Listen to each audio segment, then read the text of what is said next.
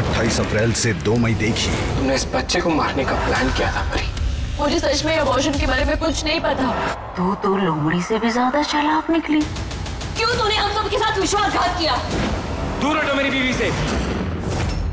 नीति की साजिश से कैसे खुद को बचाएगी परिनीत?